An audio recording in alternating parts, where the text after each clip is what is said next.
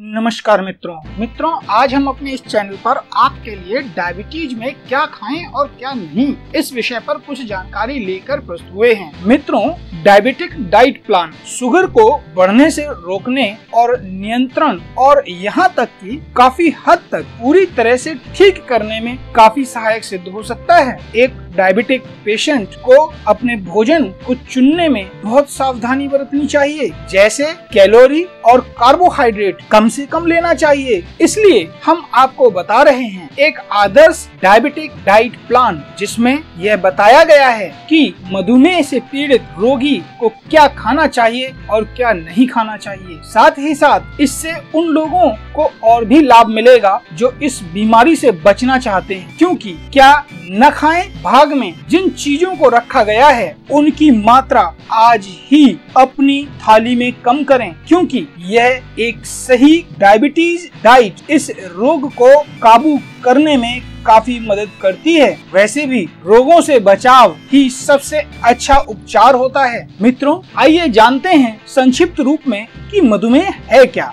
मित्रों, शरीर में पेंक्रियाज ग्लैंड से इंसुलिन न बनने के कारण मधुमेह रोग उत्पन्न होता है। यह हार्मोन शरीर में सेवन की गई चीनी का पाचन कर उसे ऊर्जा में परिवर्तित करता है और रक्त में ग्लूकोज की मात्रा एक निश्चित स्तर से अधिक नहीं बढ़ने देता। बाकी बची हुई फालतू सुगर की मात्रा इंसुलिन द्वारा ही ग्लाइकोजन में परिवर्तित करके पेट और मांसपेशियों में एकत्रित कर दी जाती है। आमतौर पर खाली पेट में रक्त की शुगर का स्तर 80 से 120 मिलीग्राम प्रति 100 सीसी के बीच होता है। और खाना खाने के बाद यह स्तर 100 से 140 मिलीग्राम हो जाता है। अक्सर यह रोग महिलाओं की अपेक्षा, पुरुषों में, गरीबों की अपेक्षा अमीरों में तथा 35 से 60 वर्ष की आयु वालों में अधिक होता है। वैसे वंशानुगत की श्रेणी में आने के कारण भी यह रोग किसी भी आयु में हो सकता है। यानी जिनके माता पिता या दादा दादी को मधुमेह रोग रहा हो तो उन्हें बचपन से ही इस रोग के प्रति जागरूक हो जाना चाहिए और समय समय पर अपनी जाँच करवाते रहना चाहिए। मित्रों डायबिटिक डाइट प्लान के अनुसार क्या खाना चाहिए? मित्रों डायबिटिक डाइट में ज़्यादा फाइबर युक्त भोजन जैसे छिलके सहित पूरी तरह से बनी हुई गेहूँ की रोटी, जई इत्यादि जैसे जटिल कार्बोहाइड्रेट शामिल होनी चाहिए क्योंकि वे खून के प्रवाह में धीरे धीरे मिल जाते हैं। इस प्रकार इंसुलिन उत्पादित ग्लूकोज का बेहतर ढंग से सामना कर सकती है। मित्रों गेहूँ और जौ दो दो किलो की मात्रा में लेकर एक किलो चने के साथ पिसवा लें। ऐसे चोकर सहित आटे की बनी चपातियाँ भोजन में खाएँ। इसे अपने डायबिटिक डाइट में अवश्य शामिल करें। मित्रों, मधुमेह रोगियों के लिए आहार के अंतर्गत सब्जियों में करेला, मेथी, सहजन, पालक, तुरई, सलजम, बैंगन, परवल, लौकी, मूली, गोभी, ब्रोकली, टमाटर, बंद गोभी, टोफू, सोयाबीन की मंगौड़ी जौ बंगाली चना, काला चना, दालचीनी, पत्तेदार सब्ज़ियाँ शामिल करें तथा इन सब्जियों से बने पतले सूपों का जितना चाहें उतना सेवन करें। मित्रों, मधुमेह में फल, फलों में जामुन, नींबू, आंवला, टमाटर, पपीता, खरबूजा, कच्चा अमरूद, संतरा, मौसमी, ककड़ी, चुकंदर, मीठा नीम, बेल का फल, जायफल, नाशपाती को शामिल करें। आम, पका केला, सेब तथा अंगूर में शुगर होता है, लेकिन क्योंकि फलों में फाइबर ज़्यादा होता है, इसलिए ये अच्छे शुगर की कैटेगरी में आते हैं। जिनको हाई लेवल मधुमेह नहीं है, वो इनको कम मात्रा में ले सकते हैं। इनका जूस बिल्कुल न पिए, क्योंकि उससे फाइबर निकल जाते हैं। मित्रों, मेथी दाना 25 से 100 ग्राम तक प्रतिदिन सुबह खाली पेट या सब्ज़ी बनाकर, आटे में मिलाकर अथवा दाल के साथ नियमित रूप से खाएँ। मित्रों, मक्खन एवं पनीर के बजाय नमक के पानी में डिब्बा बंद मशरूम, सेलमन फ़िश के साथ उबले आलू का उपयोग करें। मित्रों, खाने से पहले एक कटोरी सलाद ज़रूर लें। मित्रों, डायबिटिक डाइट में बादाम, लहसुन, प्याज, अंकुरित दालें, अंकुरित छिलके वाला चना, बाजरा आदि शामिल करें। मित्रों, कमज़ोरी दूर करने के लिए हरा, कच्चा नारियल अखरोट, मूंगफली के दाने, काजू, सोयाबीन, मटन का सूप, दही, छाछ का सेवन करें। मित्रों इंसुलिन के बनने में क्रोमियम की कमी से रुकावट आती है। इसलिए इसकी कमी को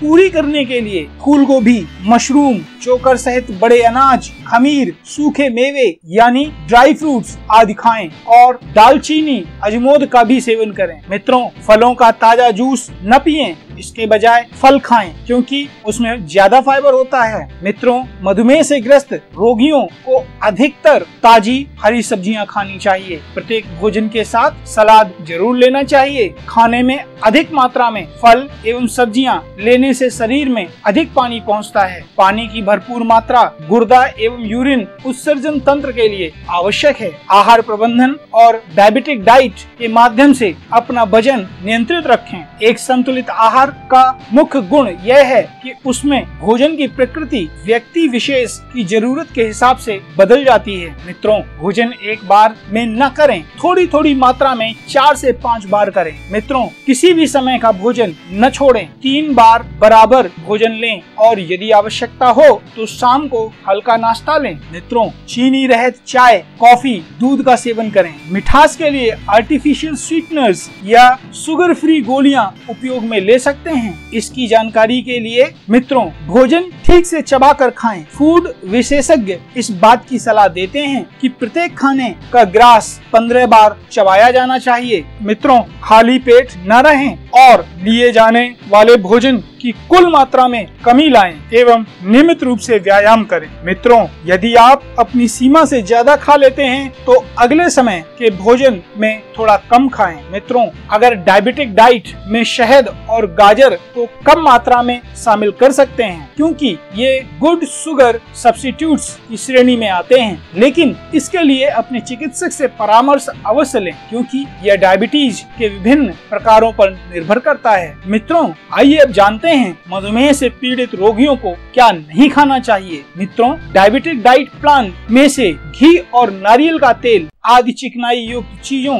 को निकाल देना चाहिए। पूरी, कचौड़ी, समोसा, पकोड़े आदि खाने से भी बचना चाहिए। मित्रों, गुड़, शक्कर चीनी, शरबत, मुरब्बा, शहद, पिज्जा, बर्गर, आइसक्रीम तथा ठंडे पेय पदार्थ इस्तेमाल नहीं करने चाहिए। मित्रों, डायबिटीज़ नियंत्रण करने वाली औषधियों के प्रयोग के दौरान डायबिटिक पेशेंट को भोजन नहीं छोड़ना चाहिए। मित्रों, चिकन लेग पीस को खाने से बचें। मित्रों, चावल और आलू का ज़्यादा सेवन नहीं करना चाहिए। मित्रों, मैदे से बनी सफ़ेद रोटी जैसे नान या तंदूरी रोटी, नूडल्स, नाश्ते में अनाज, मीठे बिस्किट, केक, पराठे, मैदे से बनी सफ़ेद डबल रोटी एवं पेस्ट्री, कचौरी, चाट भी न खाएँ। मित्रों, चाशनी में डिब्बा बंद फल न खाएँ। मित्रों, शराब, बियर आदि मादक पदार्थ का सेवन न करें। मित्रों, मकई का आटा, सूजी, ज़्यादा वसायुक्त पनीर, सॉस चीज़,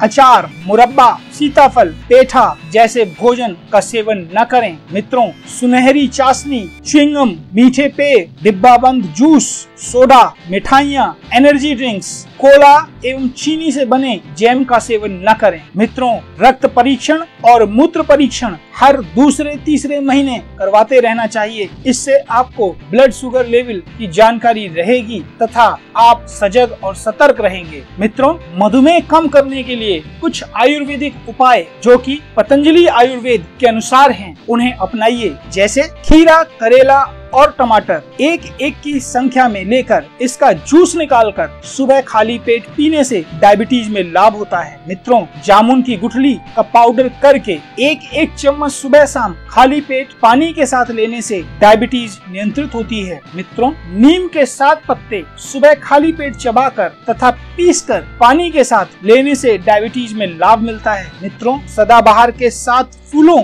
को खाली पेट पानी के साथ चबाकर सेवन करने से डायबिटीज़ में लाभ मिलता है। मित्रों, गिलोय, जामुन, कुटकी निम्ब पत्र चिरायता, कालमेघ, सूखा करेला, काला जीरा, मेथी, इनको समान मात्रा में लेकर पीस लें। फिर यह पिसा हुआ पाउडर एक एक चम्मच सुबह शाम खाली पेट पानी के साथ लेने से डायबिटीज़ में विशेष लाभ मिलता है। करंज बीज पाउडर को आधा आधा चम्मच की मात्रा में सुबह शाम गुनगुने पानी के साथ सेवन करने से डायबिटीज़ में लाभ मिलता है। मित्रों, हमारे इस चैनल पर आपको दी गई जानकारी यदि लाभदायी प्रतीत हुई हो और आपका ज्ञान वर्धन हुआ हो तो हमारे इस चैनल को लाइक करें, सब्सक्राइब करें तथा शेयर करें। धन्यवाद।